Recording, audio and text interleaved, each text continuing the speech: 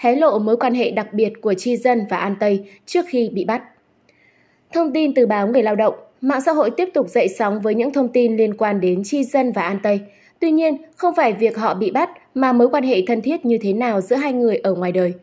Sau khi xăm soi tài khoản mạng xã hội, các hình ảnh hay động thái trước đây của Chi Dân và An Tây, cư dân mạng phát hiện dù không nhắc về đối phương, song cả Chi Dân và anh Tây đều có mối quan hệ khá tốt đẹp ngoài đời thường.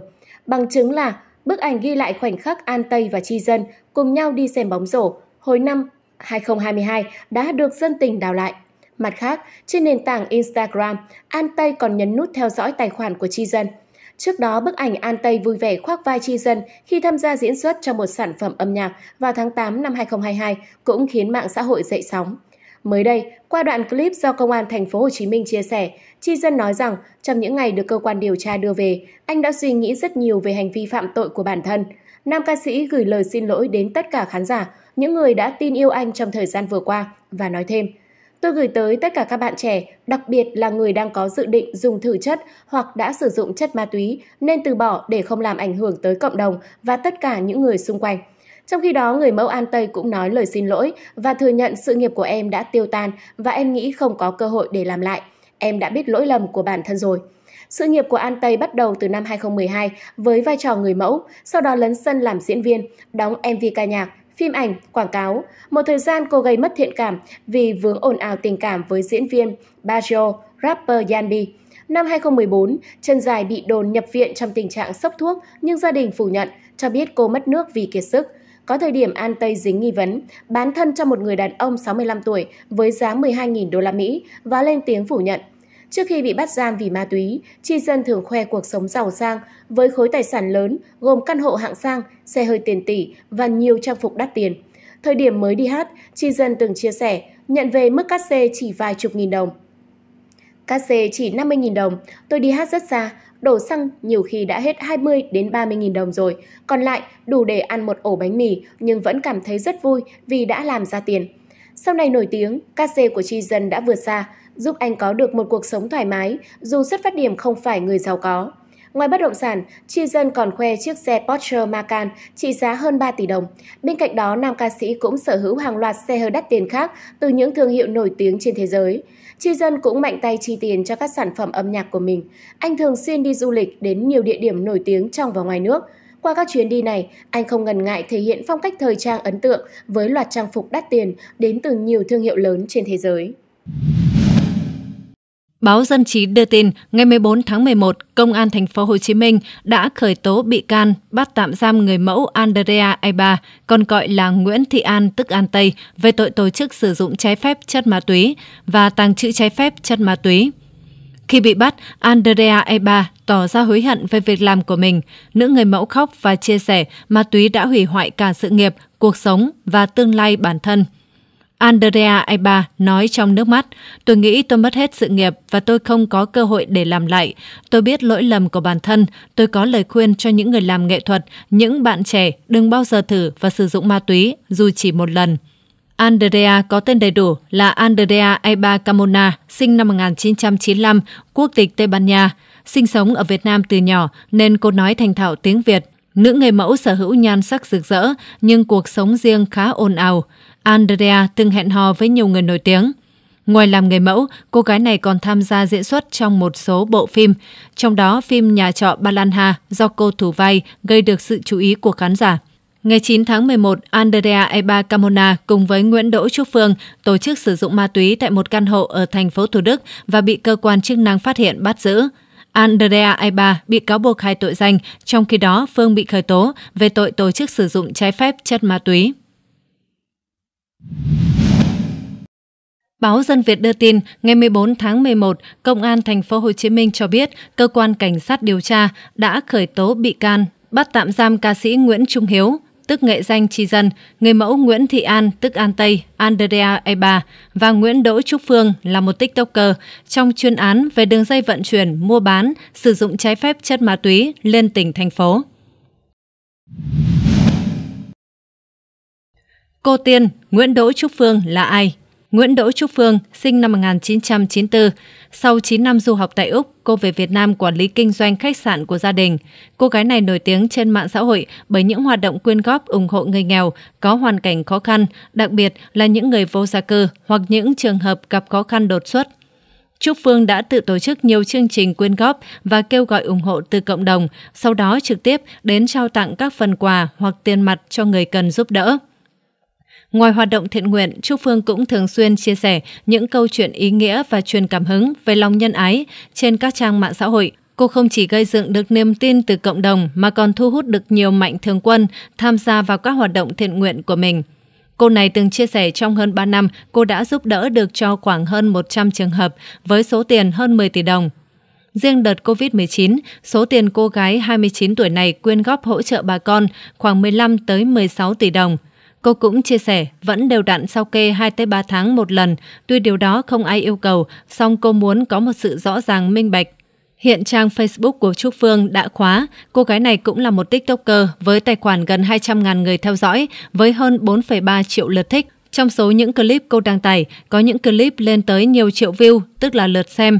Với tinh thần giúp đỡ nhiệt tình mọi người và lối sống giản dị, cô được cư dân mạng gọi thân mật là cô tiên từ thiện. Từ ca sĩ với loạt bài hit đến bị bắt trong đường dây ma túy. Ca sĩ Chi Dân, tên thật là Nguyễn Trung Hiếu, là một ca sĩ và nhạc sĩ nổi tiếng trong làng nhạc Việt Nam.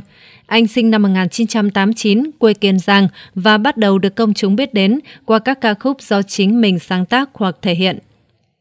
Hàng loạt bản hit triệu view của Chi Dân như Mất trí nhớ, Người tôi yêu, Làm vợ anh nhé, Điều anh biết, 1234, có được không em và nhiều bài hát khác từng một thời chiếm sóng thị trường nhạc Việt. Chi Dân được biết đến với phong cách âm nhạc hiện đại và gần gũi với giới trẻ, cùng với hình ảnh trẻ trung năng động. Chi Dân có lượng fan đông đảo nhờ vào khả năng sáng tác cũng như giọng hát đặc trưng giúp anh giữ được sức hút trong làng nhạc Việt. Trong danh sách những nghệ sĩ vắng mặt đầy đáng tiếc ở hai chương trình truyền hình thực tế đang hot nhất năm 2024 là Anh trai Say Hay và Anh trai vượt ngàn trông gai, nhiều khán giả đã nhắc tên Chi Dân bởi anh được đánh giá là nghệ sĩ phù hợp với các tiêu chí của cả hai chương trình này. Năm 2016, Điều Anh Biết của Chi Dân từng can quét các bảng xếp hạng là ca khúc được nghe nhiều nhất thời điểm ra mắt.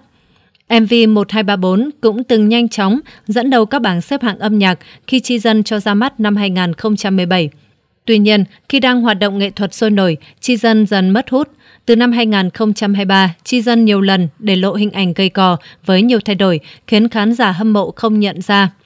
Năm 2023, khi vướng vào nghi vấn dùng ma túy, Chi Dân từng livestream xin lỗi khán giả, mong khán giả bao dung cho anh được tiếp tục làm nghề, hứa sẽ làm nghề tốt hơn, xứng đáng với kỳ vọng và tình yêu của khán giả dành cho. Người mẫu An Tây với nhiều ồn ào Andrea, tên đầy đủ là Andrea Eba Camona, hay còn được gọi là An Tây. Cô gái này sinh năm 1995, mang quốc tịch Tây Ban Nha. Cô sống ở Việt Nam từ nhỏ cùng gia đình. Ngoại hình nổi bật cùng với khả năng nói tiếng Việt trôi chảy giúp An Tây và gia đình cô có được lượt theo dõi lớn. An được biết đến với công việc người mẫu. Cô có hơn 400.000 lượt theo dõi trên trang cá nhân. Cô cũng là gương mặt quen thuộc trên các sàn diễn thời trang, đồng thời được mời tham gia nhiều sự kiện của các nhãn hàng. Thời gian gần đây, cô được biết đến nhiều hơn qua việc sáng tạo nội dung – trong quá khứ, Andrea Eba cũng từng vướng nhiều ồn ào. Từ năm 2012 đến năm 2013, các mối tình ồn ào của chân dài với diễn viên Bajo, rapper Chanbi cũng sôi nổi trên cộng đồng mạng. Tháng 6 năm 2014, chân dài người Tây Ban Nha vướng tin đồn sốc thuốc vì dùng chất kích thích. Thời điểm đó, gia đình người mẫu phủ nhận và cho biết cô nhập viện truyền nước vì kiệt sức. Theo báo Công an Nhân dân, sáng ngày 14 tháng 11, Phòng Tham mưu Công an thành phố Hồ Chí Minh đã cung cấp thông tin xung quanh việc mở rộng đấu tranh chuyên án VN10, xử lý triệt đề các đối tượng đã từng mua ma túy từ các đối tượng bị bắt giữ trong chuyên án để tổ chức sử dụng trái phép chất ma túy. Đáng chú ý, các đối tượng liên quan tới cả người mẫu, diễn viên, ca sĩ và những người có ảnh hưởng lớn trên mạng xã hội, vân vân tiếp tục phát huy những thành tích đã đạt được trong điều tra, mở rộng, truy xét toàn bộ đường dây tội phạm vận chuyển trái phép chất ma túy qua đường hàng không từ Pháp về Việt Nam vào ngày 16 tháng 3 năm 2023. Công an thành phố Hồ Chí Minh tiếp tục đẩy mạnh đấu tranh, mở rộng chuyên án, lần theo dòng chảy ma túy để khui từng vỏ bọc của các ông chủ ma túy, qua đó triệt phá thêm 146 đường dây bằng nhóm mua bán, vận chuyển trái phép chất ma túy, hoạt động liên quận huyện, liên tỉnh thành phố, khởi tố thêm 630 bị can.